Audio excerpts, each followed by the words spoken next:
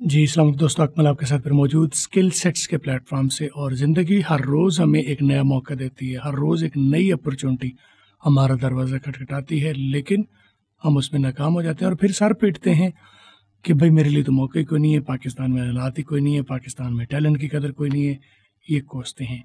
लेकिन एक चीज़ रियलाइज़ नहीं कर पाते कि जो नई अपॉर्चुनिटीज़ आती है, वो हम अपनी बैड कम्युनिकेशन स्किल की वजह से अक्सर तौर पर लूज़ कर बैठते हैं। तो वो कौन सी कमी है इसकी वजह से हम लूज़ कर बैठते हैं और उसका रेमेडी क्या है, आज मैं आपको इसके ऊपर गाइड करूँ। मेरा नाम है अकमल अंग्रेज़ी वाला और आप ये वीडियो द स्किल सेट्स के प्लेटफॉर्म से देख रहे हैं। और अगर पहली मरतबा वीडियो देख रहे हैं तो नीचे सब्सक्राइब का बटन दबा लीजिए और सात घंटी दबा लीजिए, ताकि आपको इस तरह की वीडियोज़ मिलती रहें, आप सीखते रहें और आप आगे बढ़ते रहें। अच्छा जी बैड कम्युनिकेशन में जो एक गलती होती है कि आमतौर पर कोई सवाल हमसे पूछा जाए तो ये हाँ या ना में हम जवाब दे के छोड़ देते हैं। हाँ या ना से आगे बात बढ़ानी होती है। कभी भी अगले पर नहीं छोड़ना, जिसने अपॉर्चुनिटी देनी है, उस पर नहीं छोड़ना कि वो बोले, वो कुंडा खोले, वो बात को आगे बढ़ाए, ऐसा नहीं करना। अगला चुप रहना चाहता है, अगला ऐसे फोल्डेड होता है सामने वाला, वो बात करना ही नहीं चाहता, वो मौका देना ही नहीं चाहता, लेकिन अगर वो आपको सिर्फ़ टाइम दे देता है तो आप उसे अपनी कन्वर्सेशन में एंगेज कर सकते हैं, एंगेजिंग क्वेश्चन पूछ सकते हैं। बजाय इसके कि आप लाहौर में रहते हैं तो वो जवाब देगा हाँ या नहीं। आप उससे पूछ सकते हैं, आप कहाँ रहते हैं। आप सीमेंट का कारोबार करते हैं, वो कहेगा हाँ या नहीं। तो ये डायरेक्ट क्वेश्चन आपने किया तो उसके जवाब में वो कहेगा हाँ या नहीं। बात ख़त्म होगी उधर ही ख़त्म हो जाएगी। बजाय इसके आप उससे पूछ सकते हैं, आप क्या कारोबार करते हैं? तो वो ज़ाहिर है उसे खुल के बताना पड़ेगा। तो आपने क्लोज एंडेड क्वेश्चन नहीं पूछने क्लोज एंडेड क्वेश्चन पूछेंगे तो आप एक आई हुई अपॉर्चुनिटी एक आया हुआ मौका आप ज़ाय कर बैठेंगे। नंबर एक एक तो क्लोज क्वेश्चन नहीं पूछने। आपने जब भी क्वेश्चन पूछने ओपन एंडेड क्वेश्चन पूछने, ऐसे सवाल जिनका जवाब हाँ या ना में नहीं आता, बल्कि वो वाले जिनका जवाब किसी डिटेल में आता है, किसी मालूम में आता है, आप कहाँ रहते हैं, क्या कारोबार है, क्या नाम है आपका, ठीक है? कितनी फैक्ट्रियाँ आपने बना ली हैं, कितने एम्प्लॉयज़ हैं आपके, ठीक है? कब से आप कारोबार में हैं? तो इन सब सवालों का जवाब किसी हाँ या ना में नहीं आएगा। कुछ ना कुछ बताया जाएगा। हम 1950 से हैं, उन्नीस से हैं, दो साल से हैं, दस साल से हैं। हमारा ऑफ़िस लाहौर में है। इतने एम्प्लॉयज़ हैं। जितना सामने वाला बोलेगा, जितना वो कहते जितना अगला बोलेगा, उतना कुंडा खुलता जाएगा। उतनी अपॉर्चुनिटी आपके लिए खुलती जाएगी। एक तो क्लोज एंडेड क्वेश्चन नहीं करनी। दूसरा ये कि आपसे जब बात पूछी जाए तो आपने भी उसका जवाब शॉर्ट आंसर में देने के बजाय इलेबोरेट करें, खुलें। और अगला जवाब जब दे चुके तो आप एक ऐसा सवाल करें, जब उसने जवाब जवाब दिया तो आपने एक ऐसे बात आगे करें जो बात ख़त्म नहीं करते बल्कि एक नया ट्रिगर खोलती है। ठीक है? मसलन जो अगला जवाब आपको दे रहा है, आप, वो आप कहते हैं आपका रेड आपका फेवरेट कलर कौन सा है? देखिए ओपन एंडेड क्वेश्चन है।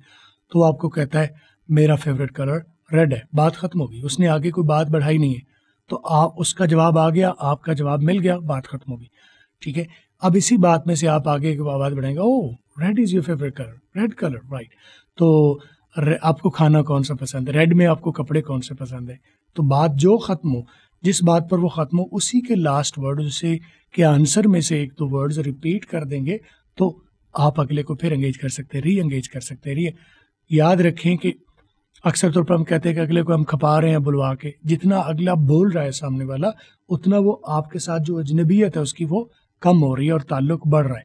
और एक ख़ास लेवल पर, एक कंफर्टेबल लेवल पर जब आपका ताल्लुक आ जाता है तो तब आप एक डील साइन कर पाते हैं डील फाइनलाइज कर पाते हैं। और एक अच्छे कम्युनिकेटर की निशानी ये है कि वो कम बोलता है, ज़्यादा सुनता है। सिर्फ़ सवाल करता है ट्रिगर जैसे डालता है कि अगला बोलने पर मजबूर हो जाए। और जब वो बोल रहा है तो खामोशी से सुनता है अटेंटिव होके हाँ यस लुक में साथ देता है कि आप पूरे गौर से बात करें। लुक में भी देने हैं और आपने अपने रियली ओह, नाइस।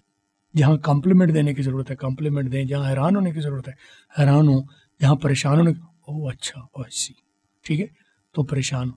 तो ये आपका एंगेजमेंट है उसके साथ। सिर्फ़ अल्फाज में नहीं, बल्कि बॉडी लैंग्वेज में आप एंगेज होंगे। तो एक एक अजनबी बंदा जो होता है, जो अननोन बंदा होता है, उसका आपके साथ एक फियर जुड़ा होता है। अजनबीयत एक फियर है। जैसे जैसे ये अजनबीयत ख़त्म होगी, कम होगी तो आपके लिए दरवाजे खोलेंगे, ताल्लुक के, ताल्लुक बढ़ेगा तो कारोबार होगा। तो आपने एंगेज करके रेपो बिल्ड करनी होती है, ताल्लुक बनाना होता है बंदे के साथ। और सेल्स में तो वैसे भी कहते हैं you have thirty seconds to build a relationship तो आपको ये आर्ट सीखना है कि आप थर्टी सेकेंड से एक मिनट के दरमियान में, इससे ज़्यादा किसी के पास टाइम ही नहीं है देने को आपको। इतने टाइम में आपने एक ताल्लुक बिल्ड करना है और ये ताल्लुक आगे चल के आपके लिए बड़ी बड़ी डील साइन करेगा और अगर ये आर्ट आप सीख तो हर जगह पर जाएँगे, हर दूसरी जगह पर आप एक बंदे को विन करते जाएँगे डील विन करते जाएँगे और आहिस्ता आहिस्ता ये डील विन करना, पैसा कमाना और कुछ भी नहीं है डील विन करने का नाम है। पैसा कमाना और कुछ भी नहीं है, लोगों को कन्विंस करने का नाम है। पैसा कमाना और कुछ नहीं है, अजनबीयत ख़त्म करने का नाम है। पैसा कमाना क्या है? ताल्लुक बनाने का नाम है। जितना बड़ा आप ताल्लुक बना पाएँगे, उतना आप अपॉर्चुनिटी अपने मौके विन कर पाएँगे। और ये एक वाहिद स्किल जो कम्युनिकेशन की है, लोगों को विन करने की, लोगों के साथ कम्युनिकेट करने की, लोगों के साथ कॉन्वर्सेशन करने की। कुछ लोग होते हैं कम्युनिकेटर कुछ लोग लोग होते हैं कॉन्वर्सेशनलिस्ट तो आपको पहले कम्युनिकेशन सीखनी है और कम्युनिकेशन सीख के अगले लेवल पर आपने कॉन्वर्सेशनलिस्ट बनना है कि आप लोगों को वो बंदा भी जो गुफ्तु करना नहीं चाहता, जो बात करना नहीं चाहता, उसे भी आप अपनी बातों में कैसे एंगेज करेंगे। ये एक आर्ट है, एक कला है जो अगर आप सीख लेते हैं तो बहुत बड़ा फ़ायदा होगा। और ये सब कुछ सीखने के लिए आपको कहीं और जाने की ज़रूरत नहीं, कुछ फिक्रमंद होने की ज़रूरत नहीं। आई एम हेयर मेरी वेबसाइट पर आपके लिए पहले लैंग्वेज के कोर्सेज हैं और कम्युनिकेशन और इस तरह के आर्ट और सेलिंग और लोगों को विन कैसे करना इस तरह के बहुत सारा कंटेंट आपके लिए अवेलेबल है। Take your time to visit my website W W W dot the skill search dot com या मेरे नंबर्स आपको नीचे आ रहे हैं, आप मेरे नंबर्स पर रबता करके ज़रूर ये अपॉर्चुनिटी लें ज़रूर ये आर्ट सीखें, ये स्किल सीखें, और ये कला, ये स्किल आपको आ गई तो आप हर जगह पर विन करते फिरेंगे और पैसा चारों तरफ़ आपके फैलेगा। उम्मीद रखता हूँ आप सीखे होंगे। मज़ीद आपके पास जो क्वेश्चन होंगे कंसर्न होंगे सवाल होंगे reach out to me in comments और व्हाट्सएप तो मैं ज़रूर आपको हेल्प करूँगा। वीडियो कहाँ तक आपको अच्छी लगी या बुरी लगी थम्स अप या थम्स डाउन ठीक है थम्स अप या थम्स डाउन जैसे आपको आसानी लगे, ज़रूर कीजिएगा और मुझे फॉलो कीजिएगा। अगली वीडियो में दोबारा मुलाकात होगी। देखते रहिए सीखते रहिए। Bye bye